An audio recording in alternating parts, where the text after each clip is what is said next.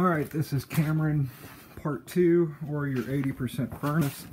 Um, we're going to be replacing the water heater flue piping, mostly due to that concrete in your flue tee up there.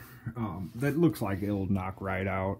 You know, once you remove that, that mortar will probably just fall right out. So I didn't order a new tee, but I ordered a reducer. I didn't want it to fail on our end. So um, one thing to take note is really right here and how goofy this return is. And see how it's going way over. So I'm having them make an 18 by, I think it was 18 by 20 and 13 deep, or deep as far as coming down. Um, obviously you're removing the humidifier. As far as the plenum goes, I'm looking to cap the bottom of this, which you can see that's 19 and a quarter, 19 and three quarters, and then just doing the, the difference in between.